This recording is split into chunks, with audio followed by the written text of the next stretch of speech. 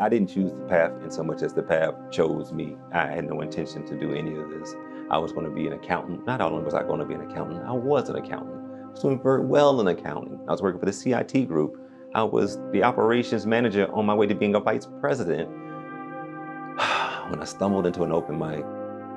When I was 14, everything went away. I was like, so, okay, everything's gone away. Why don't I build what I want? And so I was like, I'm an artist. I really embrace the idea of being a multi-hyphenate creative. I'm a poet, I'm a voiceover artist, I'm an actor, I'm a speaker, I'm a memoirist. I embrace the idea that my artistic work cannot be contained. At one point you're like, well, maybe I won't make so much money or maybe I need to go do these other things as I'm growing up and I'm married and I have a family and um, they're just all these practical reasons not to invest in art if you are listening to kind of like conventional wisdom. Um, the reason why I picked it back up is that in all the other things that I tried to really express my voice, I found space and I found that those things could take my voice. But one morning on my 40th birthday, I really was struggling with trying to produce a film and having been out of the classroom for four or five years and, and not really taking and just being, um, just feeling like a failure. And as I sat down to play on my instrument, uh, perhaps the most articulate expression of emotion that I've ever had kind of came out of me through that instrument. And all of a sudden, I realized that, wow, look at this. This is, my, this is who I am. This is my voice in a very real way.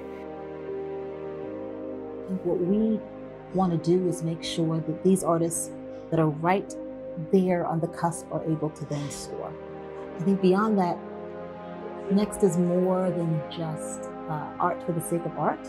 It really is about how do we take individual artists who understand the power of their own art, who are already committed to community, and how do we create a space where they can collaborate and together be even more powerful in the service of the things that we feel strongly about.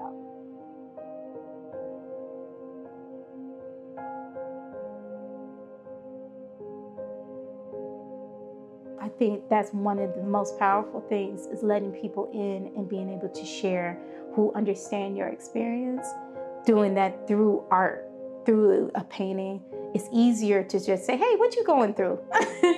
but if I can share what I'm going through through my work, then it opens up conversations and we're able to build a community to hold each other. They had a show at um, Sugar Hill all these folks played and like I would walk around, it was this whole, oh, Corey, where you been? How you doing? Ah, where's your cello? Are you gonna play tonight? And it was clear that I needed my cello. it was clear. Really talking about the things that are happening in today's society and how we as artists can make a change and a difference. I think of myself as an artist as part of a longer lineage.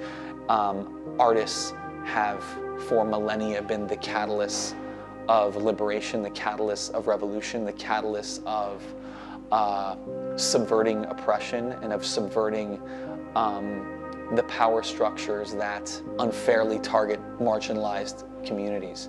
It's something where when I encounter it, I'm not going to condone it or be complacent about it because I also know that if it's not checked, it will only amplify. It's about bringing those artists together like we've done throughout history and create a real and positive impact in our communities.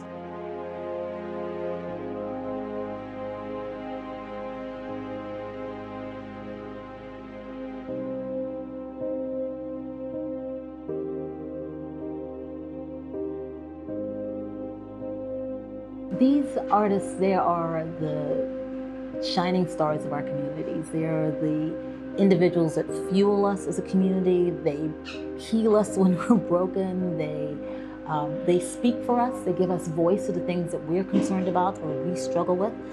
And I think we have a, a responsibility to artists to really be there for them and provide them with the support that they need to be able to do more of the same. And so I think it is the highest measure of self-love to love and support a community's artist so that we can continue to be fed and nurtured by them.